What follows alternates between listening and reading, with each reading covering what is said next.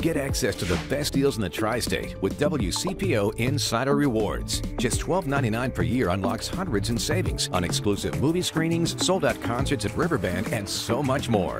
Visit WCPO.com slash join. It is Saturday, November 30th, 2019. I'm Nine on your side, anchor Evan Millward. These stories are developing now. A 60 year old woman is dead after she was hit by a car in Roselawn. Police say she was crossing the street to get to a bus stop. It's not clear if she was in a crosswalk at the time.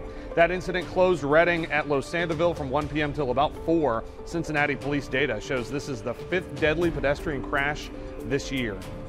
Rain continues across the area tonight, and it has canceled at least a little bit of holiday fun in downtown Cincinnati.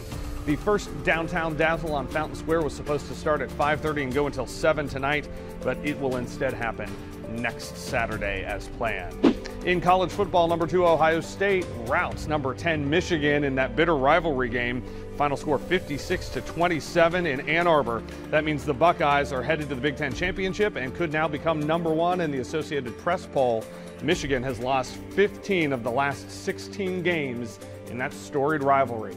We are on TV live tonight after college football and always on with breaking news, weather, and sports on WCPO.com and in the WCPO app. Happy Saturday.